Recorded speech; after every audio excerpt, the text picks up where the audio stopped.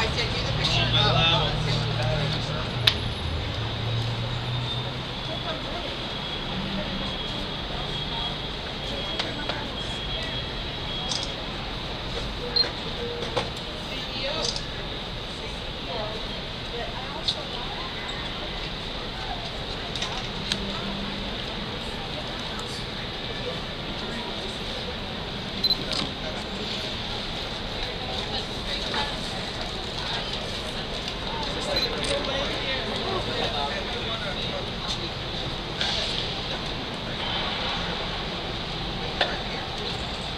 So what happened, you guys? They're gonna fax the letter and give us a return receipt Where are they going to fax the letter? to corporate, To where? corporate. Corporate headquarters? Okay, cool.